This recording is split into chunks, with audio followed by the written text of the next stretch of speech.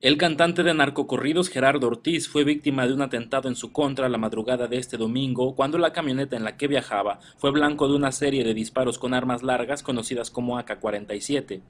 De acuerdo a la información emitida por la Procuraduría General de Justicia del Estado, en el encuentro con los sicarios fallecieron el chofer y el representante del cantante. Ortiz huyó del lugar. El intérprete de corrido se dirigía a su hotel. Los probables responsables alcanzaron la camioneta, dispararon en varias ocasiones, el chofer perdió el control del vehículo y se estrelló contra un árbol. Segundos después llegaron dos hombres a bordo de un automóvil, bajaron de la camioneta al cantante y su papá y se retiraron del lugar. Cabe señalar que el 7 de marzo una balacera dejó cinco muertos, entre ellos el sobrino de Germán Lizárraga, a las afueras del antro Antares en Mazatlán, Sinaloa, donde minutos antes se había presentado Gerardo Ortiz.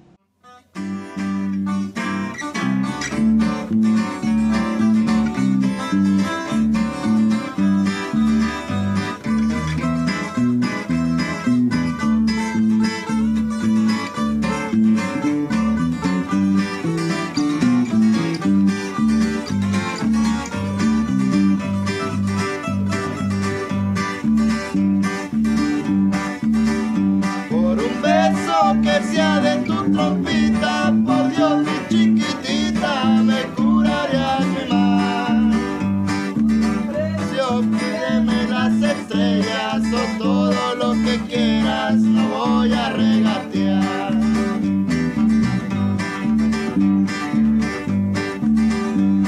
Suspiro que venga de tu alma, podré vivir en calma, ya no he de sufrir más diamantes más finos de este mundo, por cielo, mar y tierra, yo me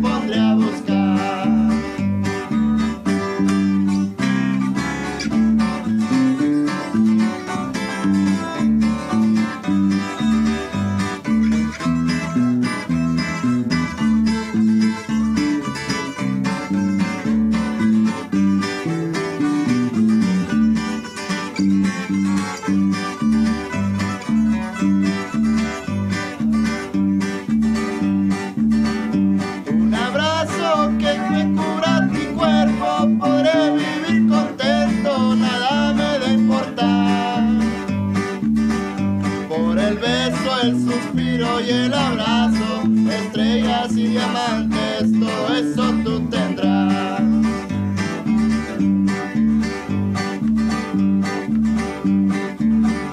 Un beso que sea de tu trompita, por Dios mi chiquitita, me curaré a mi mal. Ponle precio, pídeme